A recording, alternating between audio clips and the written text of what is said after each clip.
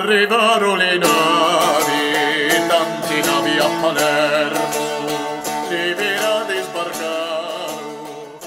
Un saluto a tutti i videoascoltatori di Italia Medievale. Oggi presentiamo un bellissimo saggio appena pubblicato da Viella dal titolo Palermo ebraica, spazio urbano, cultura e società nel Medioevo di Giuseppe Mandalà e Angela Scandagliato e noi abbiamo il grande piacere di avere con noi Giuseppe Mandalà, al quale come mia abitudine io lascio subito la parola perché ci racconti di questa meravigliosa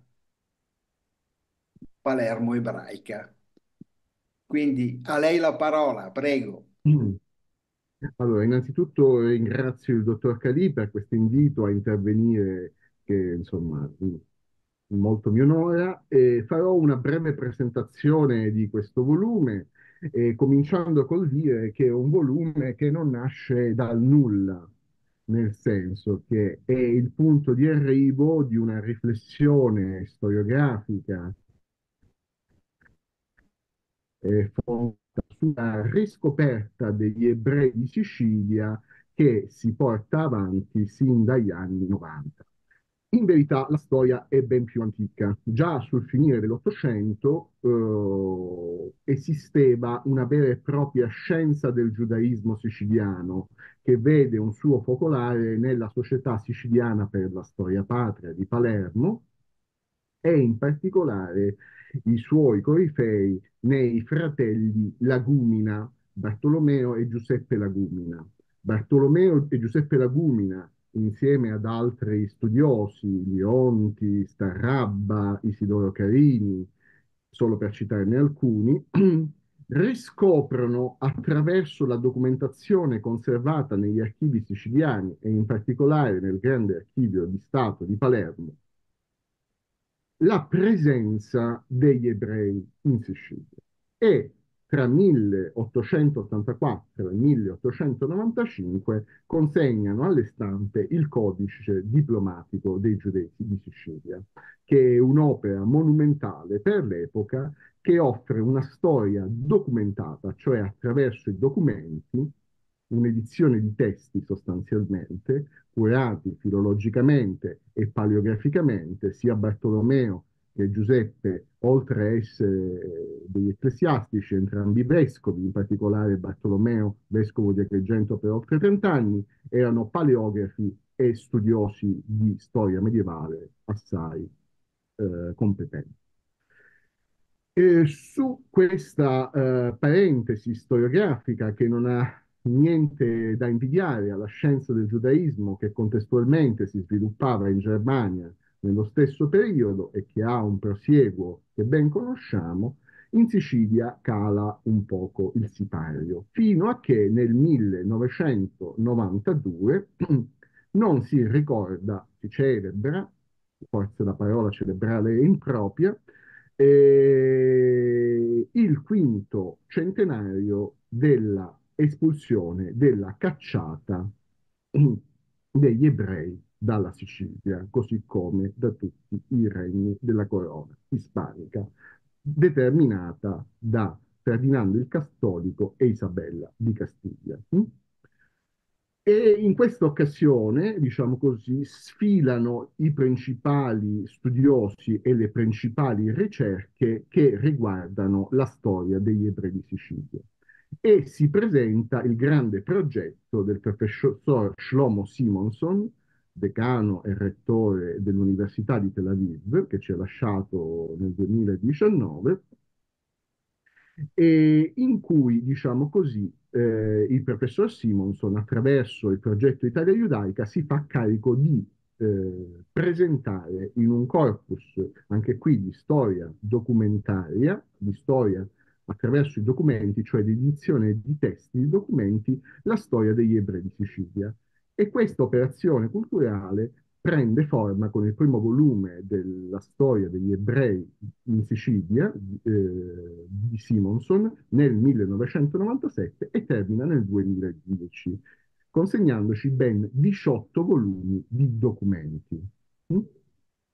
18 corposi volumi di documenti che arricchiscono notevolmente il patrimonio documentale assemblato nell'Ottocento dai fratelli Lamini.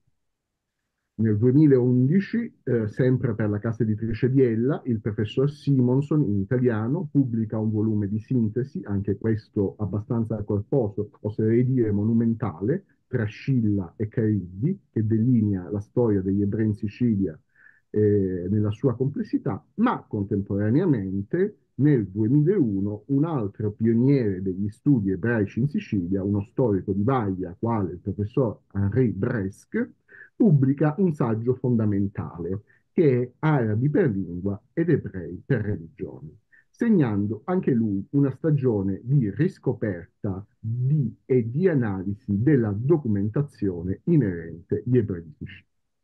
Su questo materiale si fonda, diciamo così, la nostra sintesi, diciamo, che ha il suo scopo nell'ordinare e nel presentare anche a un vasto pubblico questo materiale. Dico nostra perché il volume è opera mia e della compianta Angela Scandadiato, grande studiosa degli ebrei in Sicilia, che ci ha lasciato il 12 settembre del 2023. E detto questo, diciamo, potremmo anche sottolineare sin dall'inizio un piccolo paradosso, cioè io sono un professore di storia dei paesi islamici e insegno storia culturale del Mediterraneo all'Università Statale di Milano. E ci si potrebbe chiedere, soprattutto guardando e sfogliando i giornali e dando un occhio al Medio Oriente contemporaneo perché un professore di storia dei paesi islamici debba interessarsi alla storia degli ebrei. Apparentemente Islam ed ebraismo sono oggi nella cronaca due religioni o più latamente due culture in conflitto. Ma ciò, diciamo così, non avviene nel Medioevo siciliano. Abbiamo degli episodi di conflitto che, ci, che emergono dal, più o meno velatamente da alcune fonti, ma la storia degli ebrei in Sicilia è in, larga parte una storia pacifica.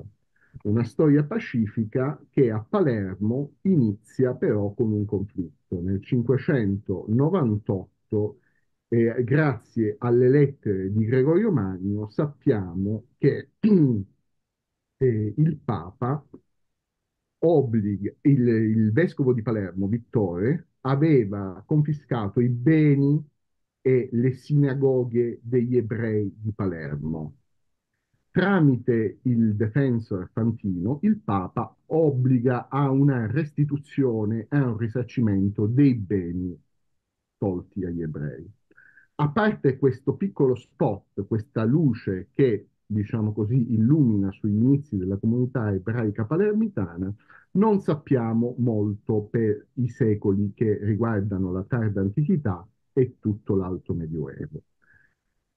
La documentazione si illumina improvvisamente, ed ecco qui andiamo al punto del perché un professore di storia dei paesi islamici debba interessarsi alla storia degli ebrei, si illumina improvvisamente grazie alla documentazione conservata nella Geniza di Fustat, il Cairo vecchio in Egitto. Che cos'è la documentazione di Fustat, della Geniza del Cairo? È un ambiente della sinagoga di Ibn Ezra, tuttora esistente e visitabile a Fustat al Cairo vecchio, che raccoglieva in un deposito, non in un archivio, un deposito, il materiale scritto essenzialmente in lettere ebraiche, mh? Hm? ma non necessariamente in lingua ebraica. Mh? Hm? Poteva essere anche la lingua araba scritta in lettere ebraiche, ad esempio. Detto questo perché? Perché le lettere ebraiche hanno un valore sacrale e rimandano direttamente al, eh, messaggio divino, diciamo così, e quindi non possono essere distrutte. Questo materiale venne accumulato nel corso dei secoli fino a che nel 1896 venne riscoperto e studiato per primo dal rabbino Shlomo Schechter, professore all'epoca all'Università di Cambridge. Questo materiale venne venduto e sparpagliato nelle principali eh, collezioni europee, ma anche d'oltreoceano, e rappresenta un vero e proprio tesoro documentale che ha nella sua riscoperta delle varie fasi storiografiche. Una prima riscoperta riguarda quella dei testi biblici, cioè di testi biblici che non erano stati eh, tramandati nella loro versione originale in ebraico. In particolare mi riferisco al Siracide, che si conosceva solo attraverso la versione in greco e che grazie ai documenti, ai testi e ai manoscritti della Genizzà viene riscoperto nella sua versione ebraica. Una seconda fase, nella prima metà del Novecento riguarda invece la scoperta della grande poesia ebraica, i poeti di Al-Andalus come Dunash ben Labrat o Giuda Levita, Yehuda Levi, e una terza fase nella seconda metà del Novecento riguarda la storia sociale del Mediterraneo. Cioè ci si accorge che nella Genizzà, oltre a testi letterari, testi sacri, testi poetici, esisteva una mole enorme di archivi privati di mercanti o di documenti utili a una storia sociale della comunità ebraica dell'Egitto fatimide. Mm?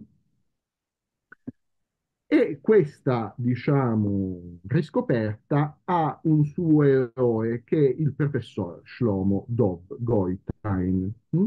che ci ha lasciato una monumentale storia, Mediterranean Society, che riguarda una ricostruzione della vita ebraica nel Mediterraneo, ma anche oltre, cioè, e ora mi spiego, nell'età eh, eh, fatimide.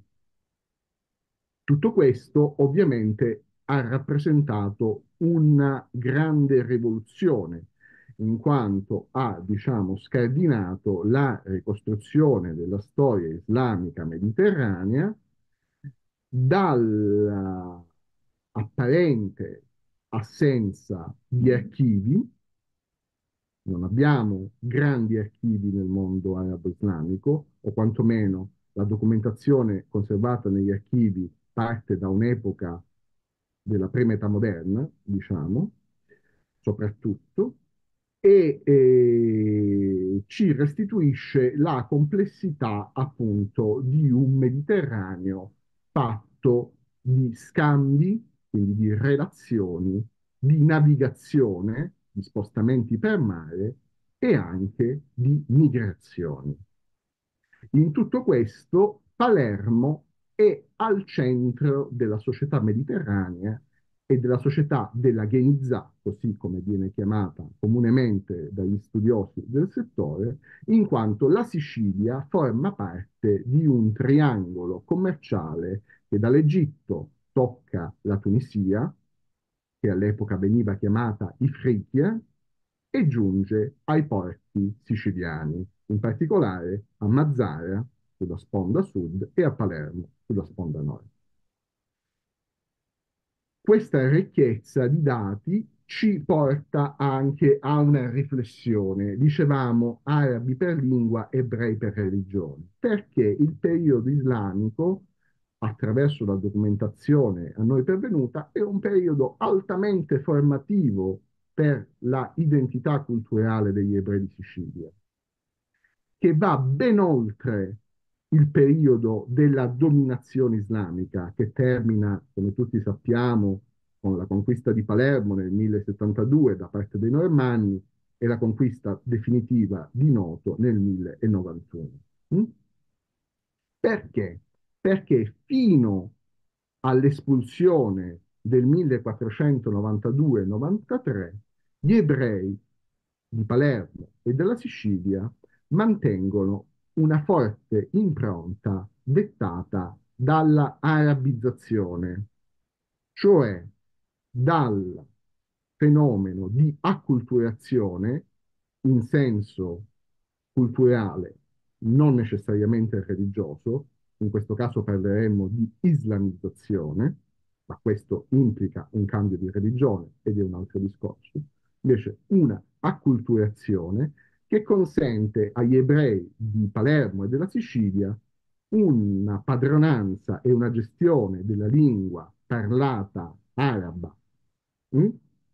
lingua parlata e lingua scritta, un'onomastica fedele ai modelli arabi e anche in parte innovatrice, cioè anche dopo innova e modifica, e anche tutta una serie di usi e costumi che risalgono al periodo della arabizzazione.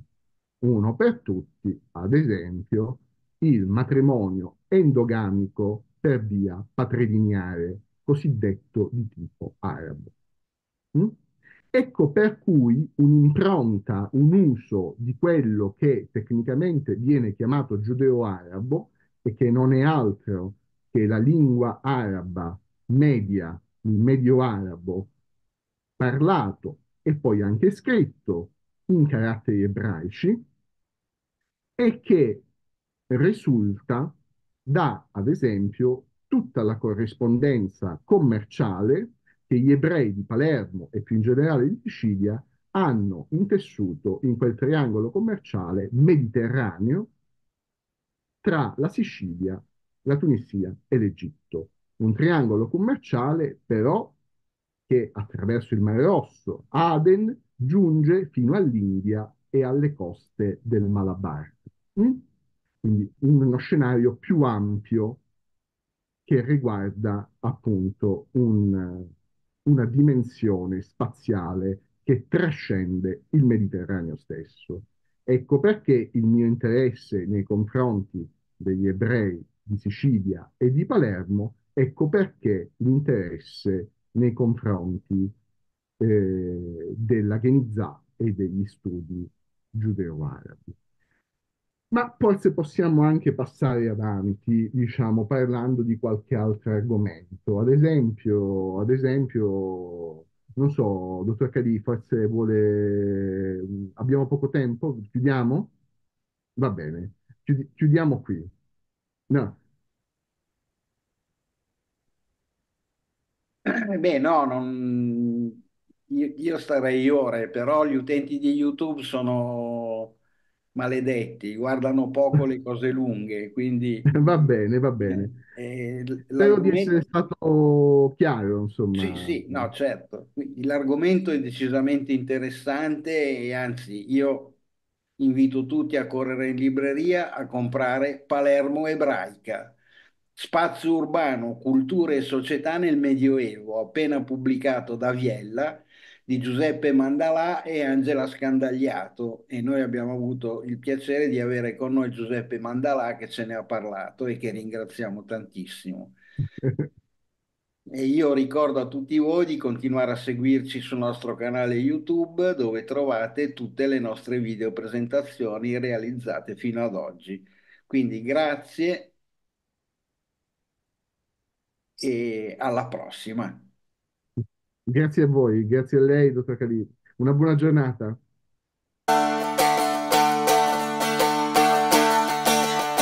Arrivarono le navi, tanti navi a Palermo, le verade sbarcarono con le facce d'inferno.